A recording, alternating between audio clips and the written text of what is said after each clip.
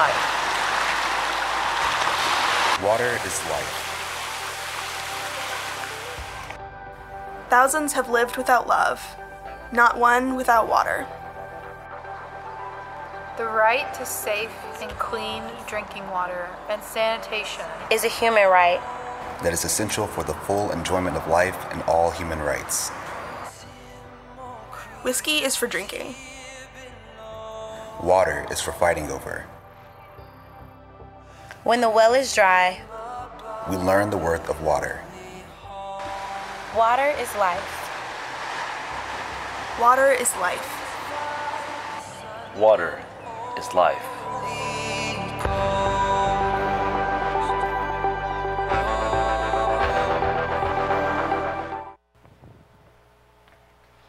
Good morning.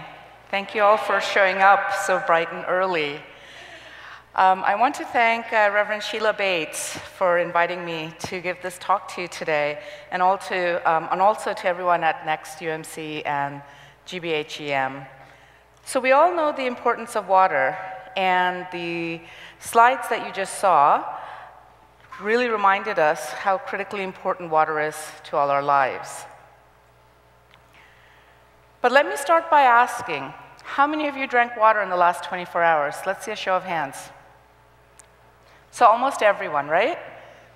But why do, why do we drink water? Well, we drink water because it's necessary. It's necessary for our survival. We drink water because it is a biologically necessary and non-substitutable resource. We cannot drink oil. We need it, we need water as something that to survive, but we also need it for life flourishing on earth. So while 70% of the earth is covered by water, only 2.5% of it is freshwater. And of that 2.5%, only a small amount is freshwater. So you may be wondering, why am I telling you these facts? It's just to stress how critically limited freshwater is on Earth. But clean, safe water is really important for people's ability to live full and healthy lives and engage in social progress. However, water shortages are increasingly common around the world because there's both an uneven distribution, but also an uneven system of access. And as a result, we're seeing competing demands for water, whether it's for agriculture, industrial production, or domestic use. And through millennia, water has always been keenly contested over. We've dammed water, piped water, contaminated water, polluted water. But I want to talk to you today about how uh, wonderful water is and how water is a many splendored thing. The remarkable thing about water is that it seeps across all boundaries. It is simultaneously economic, political, social, cultural, institutional, spiritual, and ecological. It is never just one of these things. Water plays such a critical role in all of our lives that we don't even often pay attention to it. Water is necessary for urban planning, for industrial production, for food production, for international development, for to economic policies, but also for political strife. Geopolitics is often influenced by water, geopolitical stability, ecological sustainability, people's sense of self, their cultural practices, but also people's religious and spiritual practices. For me, water is a lens through which I try to understand complex social and environmental issues.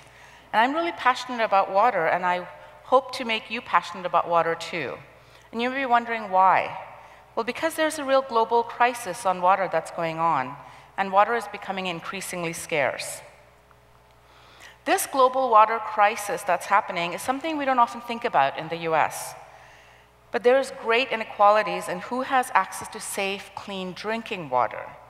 And these inequities are not just on the physical quantity that's available, but about quality, about availability, about affordability, about access, use, management, and control. And there's also very different values and uses of water. While some may experience a crisis, others do not. So consider these contrasting realities that there's plentiful and easy access to water for many people around the world, water is taken for granted in some places, while 800 million people globally do not have access to reliable, safe, clean drinking water on a daily basis. 750,000 annual preventable water related deaths take place, largely from contaminated water, but also waterborne diseases. And then 2,000 deaths per day of children under the age of five. That's quite unconscionable in this day and age, no? So let's do a thought experiment for a second. Imagine for a second that all the water sources you rely upon suddenly disappeared. No water in the taps, in the pipes, the wells have gone dry, and there's no bottled water. Take a minute to think about how would you feel? What would you do? Where would you get your drinking water, your cooking water, water for sanitation, hygiene, showering, doing laundry, or any other daily needs? Would you feel panic? Would you feel anger? Would you feel frustration? Who would you turn to? Who would you hold responsible to resolve these issues? What if you couldn't get enough water for your family? would you feel helpless or hopeless? Now imagine that is exactly how millions of people feel on a daily basis around the world because their water is not guaranteed. I've lived and worked on three continents and I've witnessed how much water can affect entire communities and households. And the panic I felt when the taps went dry because there was a power outage and the water pumps wouldn't work. And the visceral guilt I felt when I would see small children and their mothers trek for miles to find safe, clean water. And what, we're, what I'm trying to say is that these kinds of exposure to experience or knowledge or understanding can make us become water scholars to fix these global issues, because these kinds of statistics shouldn't exist in this day and age. What is the problem? This is what we need to get to, not just they don't have water we need to also understand that there's a great difference in the history, spatiality, and social difference in who has access to and control over what kind of water. If your water is contaminated, it doesn't really matter if there's a huge body of water near you because it's no longer usable. What we're seeing now is that globally across spaces, there's increasing water strugglings taking place. And this cumulatively is leading to what we call the greater global water crisis. One of the ways that water is going to become more critical over time is through climate change, because climate change is essentially hydrological change. Differences in rainfall patterns and precipitation, shifts in the weather, whether it's rain or snow or drought. And these kinds of effects in availability of water affect ecological change. So the plants and animal around us are changing their behaviors, it's affecting us as well. Even in places where we have plentiful water, um, such as most of the United States, where we take water for granted, we should start to worry because climate change will make the waters disappear and shift in their availability and their reliability. So, as a result, ensuring access to safe water is something that we should be worried about because water affects educational opportunities for employment, for health. But here's the interesting thing it reduces gender disparity because women are often the managers of water in the home. Water is very much a gender issue because women and girls around the world are burdened with having to fetch water even where places where white piped water may exist because it may not be reliable. Hundreds of hours a week are spent in fetching precious water. What's really strange is that we don't often think of water as a gendered issue. For a second, think about who bathed you when you were an infant. Who did your laundry when you're two months old? It's usually moms, right? Moms undertake this care work, this domestic labor around the world, and it's a kind of work that requires water, a reliable, safe, safe clean water. And as a result, water comes to affect not just individuals, but people's sense of their roles in the home and how they interact with other members of their household. It is thus an urgent and imperative that we pay more attention to the different ways that water affects us here and around the world and start to notice these connections and commonalities that exist and not assume that water crisis is something that's happening over there. I want to now talk to you about global water crises that are happening slightly differently in different places. So, in the global south, or in the developing world, or in poorer nations, there are various different kinds of water crises. These are the ones that we often see in the news or in, in different kinds of readings we may come across or different magazines. So, fetching water from far away is something I've just mentioned, right? So, Women and daughters and daughters in laws and moms and grandmas are usually fetching water through floods and through droughts. This is an arduous task. Young girls often drop out of school to help in this care work for the household. So, this has an intergenerational impact because what we're seeing is this lack of education is affecting over the life course in the girls becoming future mothers or whether they have um, employment opportunities or not. But we're also seeing, seeing that in the larger cities, as more and more people flock to cities in the search of livelihood, that there's no water in the cities. If you do not have legal access to land, you cannot claim your right to municipal water. And what we're seeing increasingly is that the very poor of the global south are paying exorbitant rates for water because they do not have subsidized tap water. And this water is often a huge percentage of their household budget. And this issue of precarity, of precarious lives, of public health, is something that we should be concerned about. Water is very much a health issue and very much a development issue for most governments around the world.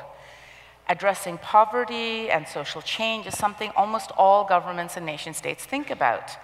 However, the social difference in who matters, who gets clean water, is very political. Who has access to sufficient amounts of safe water is something that's debated and worked out through various laws and legal instruments.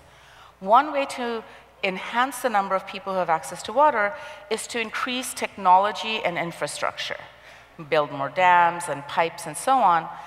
But guess what? These have po positive and negative impacts. And we therefore need to look at both the pros and cons, the benefits and the sufferings that can happen across space and across scales. For instance, you may build a dam to divert river water to another area, but people who historically depended on that traditional water source will suddenly be deprived. And there's also this whole controversy about water being diverted to cities and not to rural areas. And there's another controversy of water for humans versus non human living other beings. So water becomes an issue that environmental scholars are worried about, government are worried about, policymakers are worried about. Now let me give you some examples of the global water crisis in the global north, which is the more advanced industrialized countries, the more wealthy countries. We're seeing water crises develop here too. And I'll share some examples from the US that you may be familiar with. First one is Flint, Michigan where water quality has been a crisis for quite some time. Lead contamination has led to poisoning of children. And it's largely because of aging infrastructure and bad policies. So, what we're seeing is that Flint may be the most dramatic case of poisoned water in the US, especially among communities of color. But lead is highly problematic in many cities around the US. A second example is the historic drought in California, where there's been a lack of water for irrigation of crops. And as well, what we're seeing is that there's increasing siphoning of precious groundwater by bottled water companies. And this has led to huge controversy of, well, who gets access to this limited amount of water? And it also raises the issue of how do we learn to value water? Do we value water when it's taken out of a watershed and sold in bottles to somewhere else? Or it's used in that watershed for domestic purposes or agricultural purposes? A third one is something that's been in the news for a couple of weeks, but largely for a few months. It's the issue at Standing Rock, which is an example of an ongoing crisis of governance where protecting water source against large corporation and the Dakota Access Pipeline has gained international attention. The Water is Life movement, the Water is Life movement emerged as water protectors are fighting to prevent pollution of a sacred and necessary water source on native land. But it's really much more about water. It's about sovereignty, Native American land rights, and state-led violence against protesters and water protectors. So all of these examples, both from the global north and the global south, show us the many different ways that water is connected to broader issues of democracy, citizenship, and development. We're thus seeing crises and injustices and sufferings of very different kinds, right? Different communities on different issues, both here and abroad. But this, this status quo is really not acceptable. Why do we accept it? We shouldn't. We need to change the system. So you may be wondering, well, how can we change the system? We have great examples to follow. The global water justice movements, are often called water justice warriors, have been critical in trying to change the status quo and share information on various water crises and injustices. They've been raising awareness on the broader issues linked to water, and here are some examples from various water justice movements in Asia, Africa, Latin America, and North America. And the important thing is that they are basically fighting and protesting various kinds of water related issues, but collectively, they remind us again of the many splendored thing that is water. That water is ecological, it's social, it's political, it's economic, it's a legal issue. And they've been raising this awareness and calling on people to both understand how we relate to water, but also what needs to change. And what we've learned is that there's no easy or simple or singular action to address a global water crisis. Because water crisis is not just a technological issue, it's a political one and a social one. And context matters. Where you are and what water crisis is happening is related to what water justice action you want to take. Because at the end of the day, water is essentially about power the power to decide, to control, to allocate, to manage, thereby control people's very lives. So, in response to the global water justice movement, here's what's been done at the international level. In 2010, the United Nations passed the resolution on the human right to water, which states the right to safe and clean drinking water and sanitation is a human right that is essential for the full enjoyment of life and all human rights. Think about that for a moment. It's very basic and intuitive, right? If you can't have water, you cannot reproduce your body, you cannot survive, then all other rights disappear if you're no longer alive. So, what the Right to Water resolution did was basically announce that this is a universal right it has to be ensured by governments. And the guidelines are meant for the progressive realization of the right to water. And what this means is paying attention to quality, to safety of water, to reliability, to affordability, accessibility, availability, and acceptability. All these aspects are important, not just one over the other. And this international resolution, which was passed, uh, approved by both the United Nations General Assembly and the United Nations Human Rights Council, basically asks us to look at the motive of what's going on with water management. It needs to be figured out in, in each context, in each country. We need to work together in figuring out how safe water can be made available so we can move away from the current crises and sufferings. So, to do that, we need to have much broader conversations about equity, about sustainability, about rights, about fairness, about local accountability, about the democratic process, and addressing different needs. Now, water justice warriors were absolutely instrumental in bringing this international policy to fruition. They advocated and mobilized around the world. They galvanized people to demand democratizing water governance, for recognizing various struggles, and addressing issues of social injustice and, and inequity. Now, the cumulative effects of these efforts by activists, scholars, practitioners, community members, and students were very successful in bringing about this transformation in policy.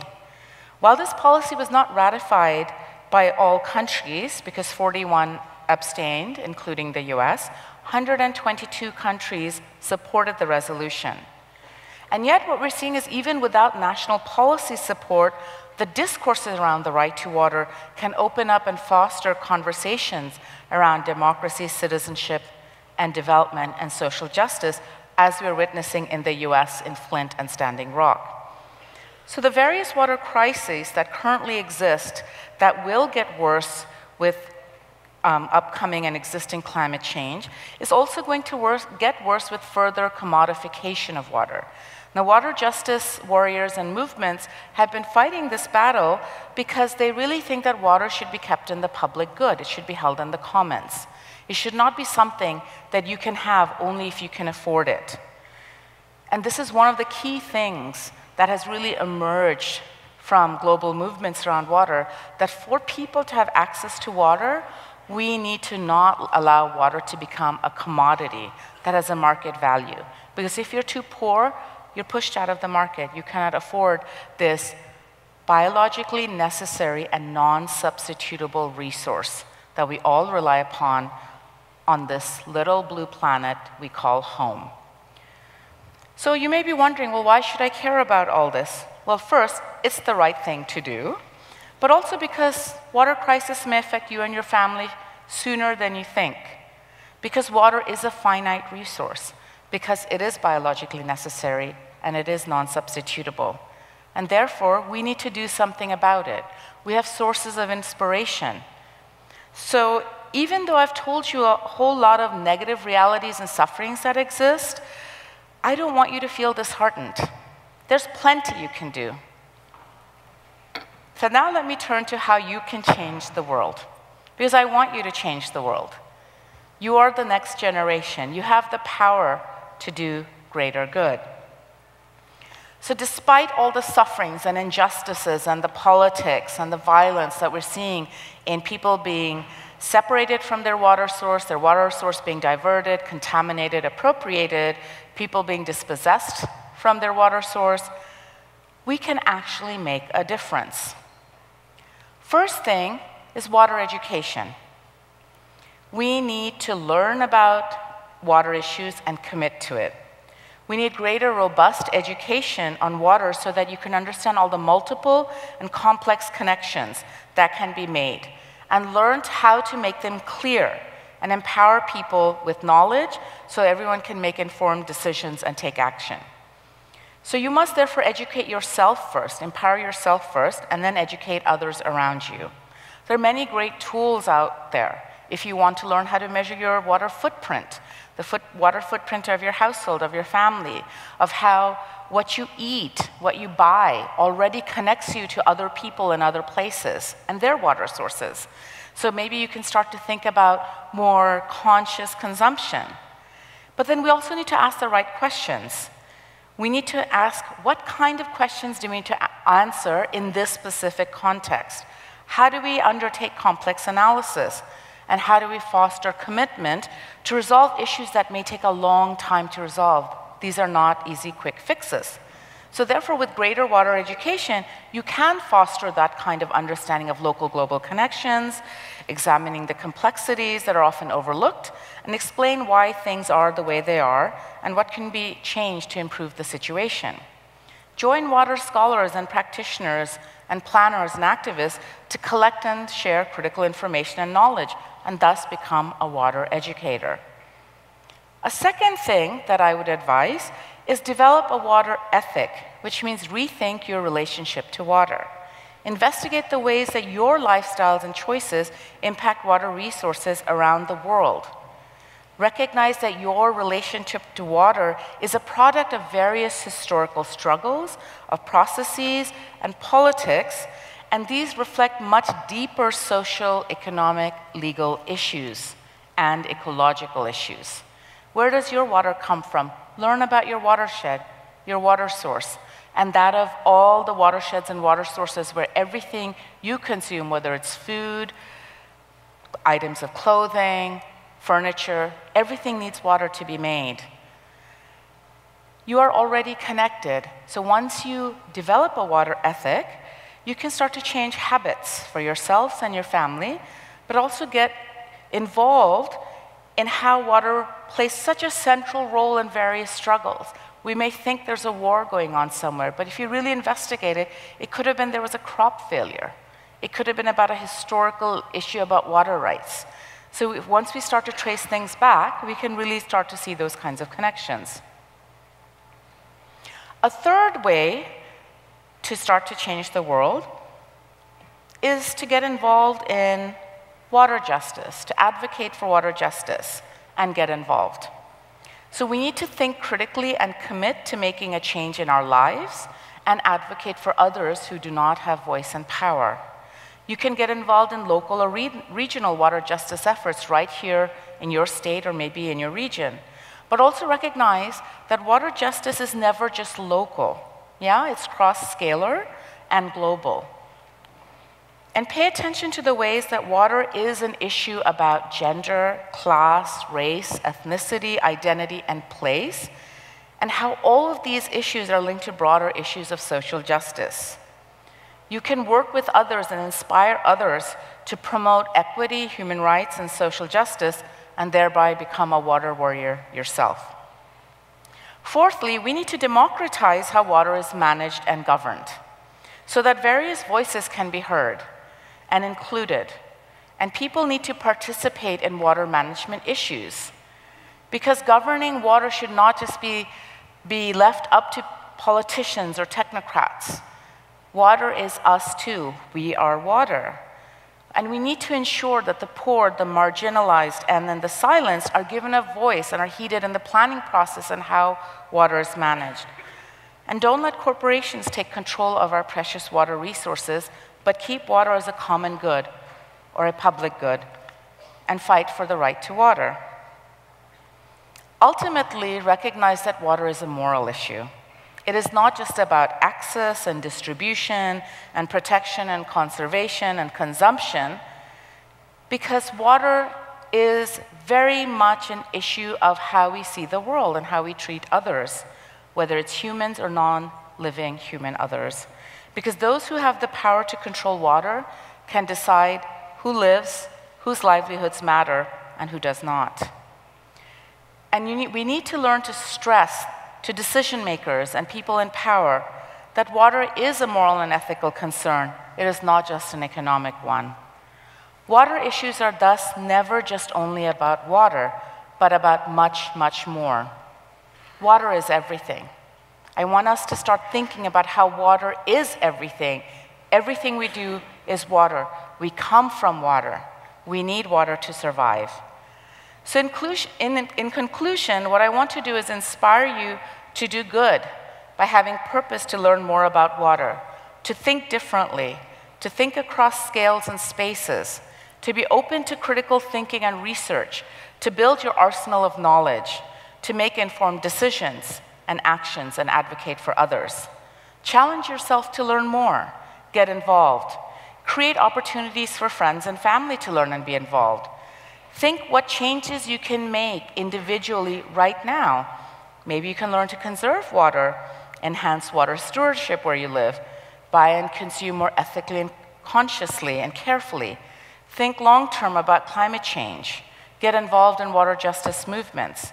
But after you've done that for you, yourself, and your family, also get your school to get involved, your town and your state, and figure out what everyone can do at these different scales and how you can bring about change.